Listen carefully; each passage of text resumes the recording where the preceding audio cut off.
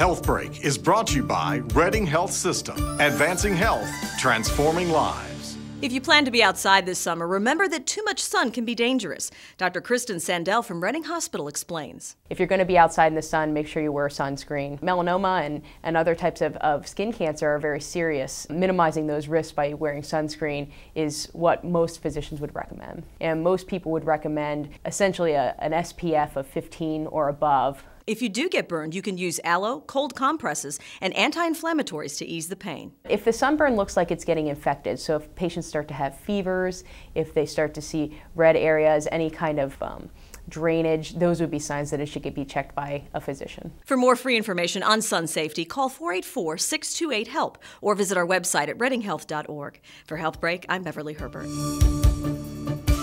Health Break was brought to you by Reading Health System